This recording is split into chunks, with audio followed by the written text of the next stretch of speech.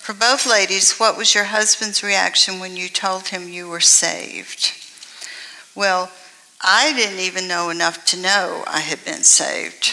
I, I was very ignorant about the Bible and uh, about God, and but what I knew was that God was real to me, and the scriptures were all of a sudden real to me, and I had a desire to know more and to please God. And so I asked Sanford if we could start going to church, if he would go to church with me. And he said yes.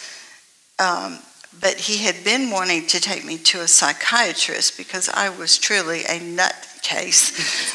and, um, but I wouldn't go. But I said, I will, if I don't get better, then I'll talk to the pastor, and then if I don't get better, I will go to a psychiatrist. So it took me quite a while to figure out what had happened, that, that I had become a Christian, that I had gotten saved. He grew up going to church, and so when we started going to church again, then um, he decided he was a Christian too. And he told me, and I said, You are?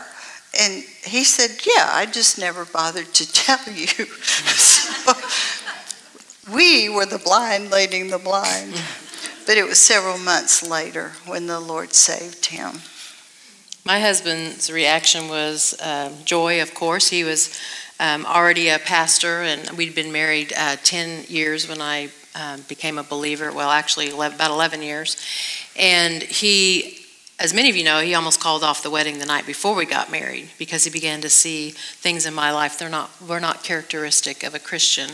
And so he was overjoyed and began to see the changes in me and then he baptized me. So um, it was a joy. So oh, that's so sweet.